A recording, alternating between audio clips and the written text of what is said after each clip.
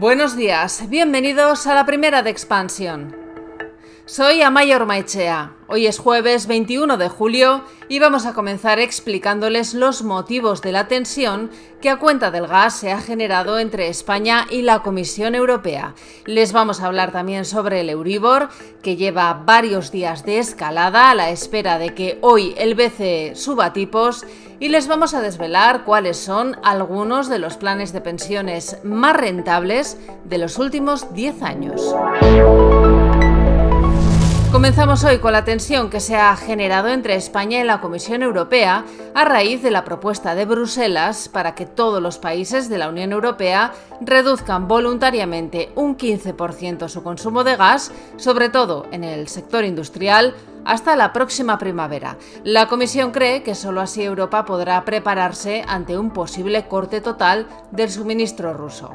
La vicepresidenta tercera y ministra para la Transición Ecológica, Teresa Rivera, aseguró ayer que España defiende los valores europeos, pero que a pesar de ello no podemos asumir un sacrificio sobre el que ni siquiera nos han pedido opinión previa.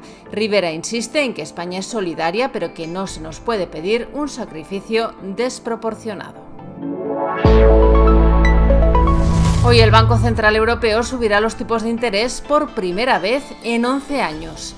Las previsiones apuntan a que esa subida será de un cuarto de punto, aunque hay margen para que ese aumento pueda ser incluso de medio punto. El Euribor a 12 meses se ha anticipado a ese incremento y el índice sube un 40% desde el 7 de julio.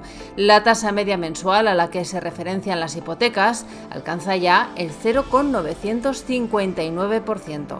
Se calcula que hay algo más de 4 millones de hipotecas a tipo variable que antes o después se van a encarecer de forma significativa. Con el tipo provisional de julio, quienes revisen su hipoteca ahora tendrán que hacer frente a una subida media de casi 100 euros mensuales.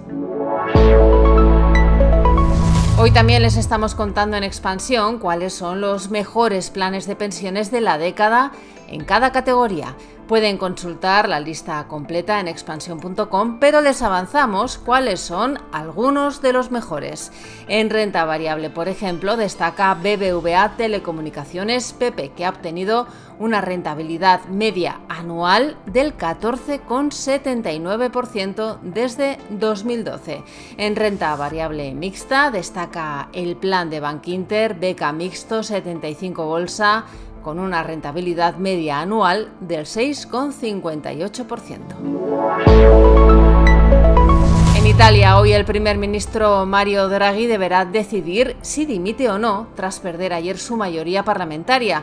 Draghi perdió los apoyos parlamentarios suficientes para gobernar tras el abandono en el Senado de sus antiguos socios de coalición, el Movimiento 5 Estrellas y la derecha de Silvio Berlusconi y Matteo Salvini.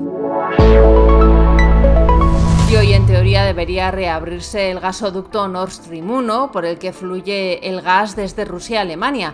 El gasoducto ha estado varios días completamente cerrado por tareas de mantenimiento y los inversores van a estar muy pendientes de la reunión del BCE con la incógnita de ver si la subida de tipos será de un cuarto de punto o de medio punto. El IBEX 35 perdió ayer un 1,18%, aunque el selectivo logró mantenerse en los 8.000 puntos.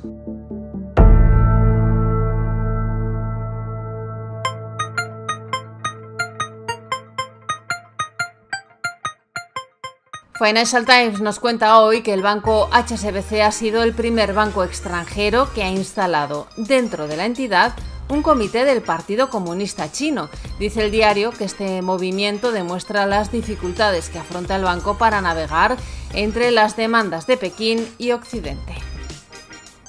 Financial Times recoge también los resultados de Tesla. La compañía de Elon Musk aumentó sus ingresos un 42% hasta los 16.900 millones de dólares en el segundo trimestre del año. Así se presenta la jornada. Recuerden que tienen toda la información económica, empresarial y financiera del día en expansión.com y en nuestras redes sociales. Pueden escuchar este podcast en Spotify, iBox y Apple.